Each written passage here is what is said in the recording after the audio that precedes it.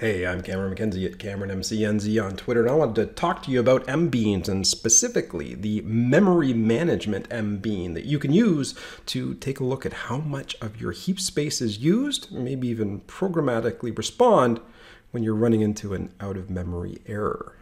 So this has to be the absolute worst program ever invented. As you can see, I've got an innocent little array list here, and I've got a loop that just goes on forever and keeps stuffing strings inside of this innocent little array list until an out of memory error happens. And what I want to do is I thought, you know, it might be nice to programmatically manage memory. Maybe say, hey, every time we get to 85% heap usage, what we want to do is we want to clean out that list and get rid of all of the objects that are consuming memory. And how would you do that? Well, the way you do that is you use the memory MX bean, the management extension, the M bean. So right over here, when I'm going through the list, what I'd like to do is I like to say, hey, you know, if the percentage memory used is greater than 85%, then let's clear this list. So how how would we do that? Well, in order to do that, well, you're gonna I'm gonna put a little method in here to kind of I guess isolate the code changes that I'm going to make. So I'm going to create a little method called calculate percentage memory used. And you end up going to the management factory, the MBean management factory, in order to grab access to any of the MBeans that are in there. So the one that I like is the memory MX bean. Let's just give it the polite name memory bean and say, hey, get that from the management factory. And you say get memory mx bean. And there you go. Bob's your uncle. Well, you got to spell it correctly, but there are all of these little intricacies. I've also got the imports up there already, and you can even take a look here. Look at all the different memory beans that are available to you. So there's the garbage collector, the compilation, the class loading. I mean, it's just a whole smorgasbord here of different M beans. But the memory one is the one that I'm actually interested in. And I can figure out the memory usage or the heap usage. There's actually a memory usage object, so I'll just call, I'll call that heap usage. I don't know. Um, and you get that from the memory bean. So you say to the memory bean, hey, as this program is running, what is the uh, amount of heap space that's been used? So you say heap space memory usage, and there we go. We get the information about how much of our heap has been used. Now we actually want, I want to know what the max memory is and the actual amount of memory used is. I want to store those in variables. So I'll say the used memory is, it's going to come back as a long, and I think it comes back in bytes, right? So I have to say the heap usage dot get used. So how much of the heap has been used. And then I'm going to, well, what is a, a meg? Is it 1024 times 1024, something like that. But basically, you get a great big, huge, long variable back here, which isn't useful. Um, but if you divide it by that million number there, then all of a sudden you actually get your number of megs. And so that's the used memory. You can also figure out what the maximum memory that your system is allowed to use. What, uh, what did they set as the maximum amount of memory to be used by the GV, JVM? So you can say get max as well. So all of a sudden right here, I've got the used memory and I've also got the maximum memory. And then from here, it's pretty easy to calculate a percentage. So let me paste that in here because I know I'm gonna mess that up. But I'll take the used memory, divide that by the maximum memory. I'll multiply all of that by 100. That's probably going to come back as some decimal number, but I don't need those decimal places. I just want a percentage. So I'll cast off all of the trailing digits after the decimal, cast it into a long, and now I've got the percentage used. And you can use this to maybe print out the different variables. So I want to say, hey, you know, the used versus maximum memory is this, and then the percentage used there is that, and Hey, I also want to print out the list size, so how many elements are in the list each time I call this method. So notice that list is static there. It might stick to your clothes when you pull it out of the dryer, but along with that, it's also available in any other static method. So this gets me going here. I've now got the ability to print out all of this information to the console as the program runs. And of course, this method is supposed to return something that's long. And as you can see, the longest thing in there is that percentage used. Okay, it might not be the longest, but it's, it is a long. So I'm gonna say return the percentage used.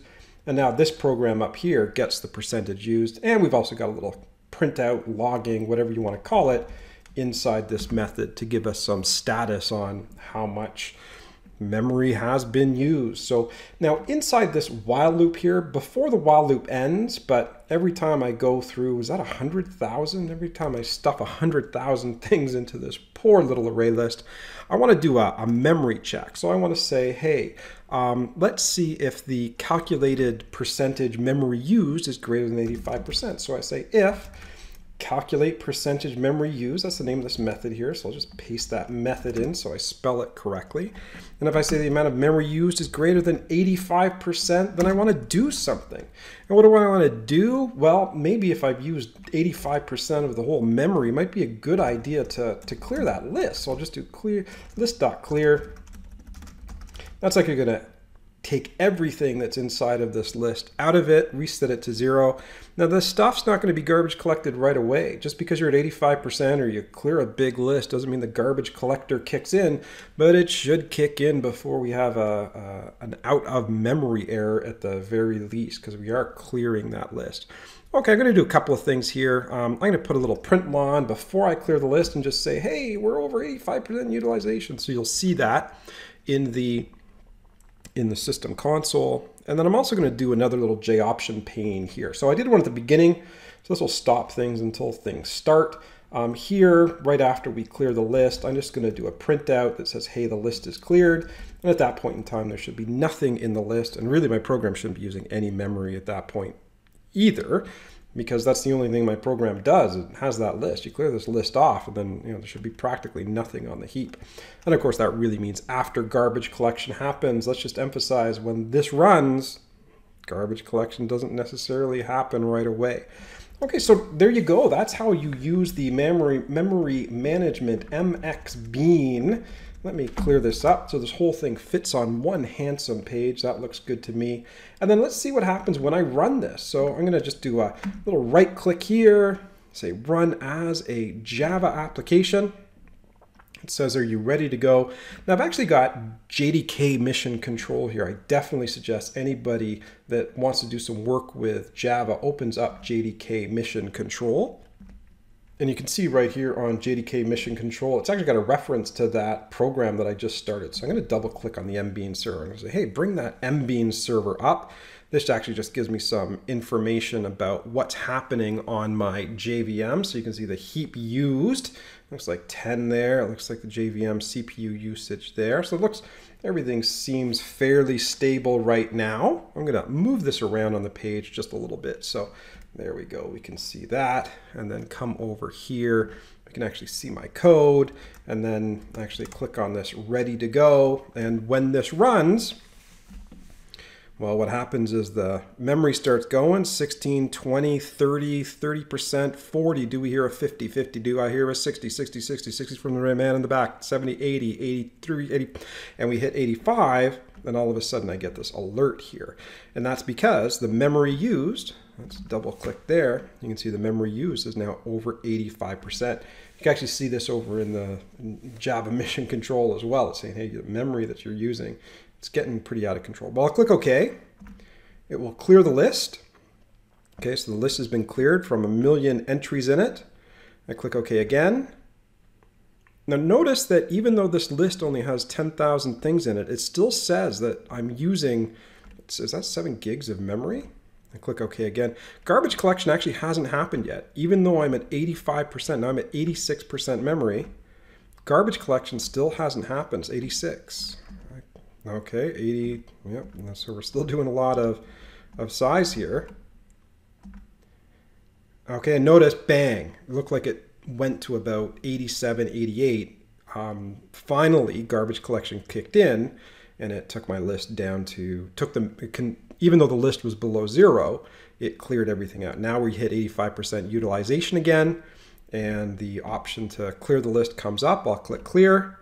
But notice, even though this list has only 10,000 elements in it, which is nothing compared to what the 133 bagillion here, um, memory is still consumed because all of these objects are actually still consuming memory space. Memory isn't cleared. Um, so I click OK. Now it, uh, it still hasn't cleared. And you can actually go up here. I'll see if I can find that Java memory garbage collector, you can see here we were over 85% a few times, um, even though we'd cleared the list. And then finally, it decided right here we got 7 out of 8, 80%, 7% memory utilization. It looked like it then uh, took things down, did garbage collection. It goes to 82%. Yeah, you can actually see the memory management being now recording it. And it says here at this point, okay, it goes down to 9%. You can see that's definitely at this point, it looks like it looks like uh, Java garbage collection happened. But there you go. That's how you can actually write a bean to manage your garbage collection instead of getting that um, not array index out of bounds, but uh, out of memory error. Anytime we hit 85% utilization, we know to clear our list, and then the program continues. Garbage collection eventually happens, and then uh, space is freed up on the JVM. As I said, you can even see that over here when you click OK. Notice all the memory used over there. Keep clicking OK. And then eventually, when garbage collection happens, you'll see that use Java heap statistic go down. And then let me see one more time. It's going to happen eventually. What am I at here? Just take a look. Okay, 87%, 7,000. It's going to happen. And there you go. Now it goes down and it's going to start moving up and up and up there. It's a great little tool, Java Mission Control. I got a bunch of tutorials on it. Definitely check it out. But there you go. That's how you can use the Memory MX Bean of the MBean suite of tools to monitor your memory and uh, report it. Maybe even do a little programmatic memory management as well. And there you go. That's how easy it is to use the memory management extension MBean to monitor your heap, see how much it's used, and maybe even take some action based on the results of heap analysis. Now, if you enjoyed that tutorial, why don't you head over to the serverside.com. I'm the editor in chief over there. We've got lots of great tutorials on Java and mission control and anything to do with enterprise software development, actually. If you're interested in my personal antics, you can follow me on Twitter at CameronMCNZ and subscribe on the YouTube